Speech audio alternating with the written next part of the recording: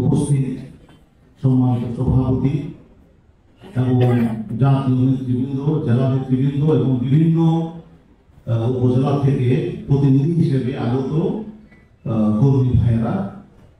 আমরা যে শেখ রহমতুল্লাহ আলাই উনিকে, উনি হলেন দারুল দেওবন্দের প্রথম ছাত্র।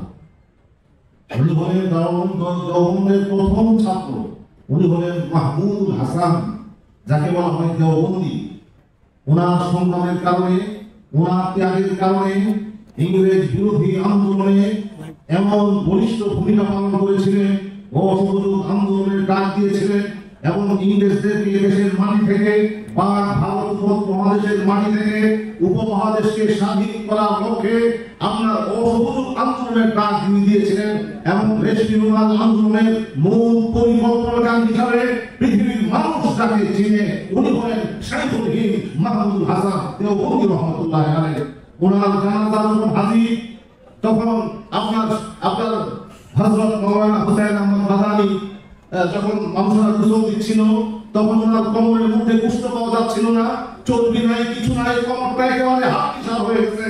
হুসাইন আহমদ বাদানি উপস্থিত হয়ে বললেন যে উনি আমাকে নিষেধ করেছিলেন বলার জন্য, কিন্তু আজকে যেহেতু প্রকাশ হয়েছে এই জন্য বলতে বাধ্য হয়েছি ওই মালতার কারাগারে ইসলামের দুশ্মন ইংরেজরা এই অসহযোগ আন্দোলন যাতে ফতুয়া না দেয়, এই জন্য ওনাকে বাধ্য করার জন্য নির্মম নির্যাতন করেছে ভারতের শেরশাহী গ্রামের মুখ থেকে দিল্লির চাঁদির মুখ পর্যন্ত।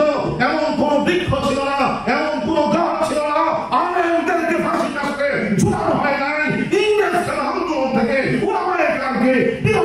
জন্য এটা বউ ছিলেন হিন্দ মাহমুদ হাসান। দেওবন্দি আজকে নাম এবং ইতিহাস জন্য কিন্তু আমরা এখানে উপস্থিত হয়েছি জাতীয় নেতৃবৃন্দের পবিত্র সভা থেকে। যাই হোক জেলা পক্ষ থেকে আপনাদের সবাইকে মোবারকবাদ জানাই আপনারা অনেক কষ্ট করে এসেছেন। আমরা ঘরে ঘরে এখন থানায় থানায়, উপজেলায় উপজেলায় আমরা যাতে কমিটি গঠন করতে পারি এবং কিশোরগঞ্জের মাটি, জমিয়তের খাতি এমন ভাবে যাতে আমরা কাজ করতে পারি। হাদা ওয়া আলহামদুলিল্লাহ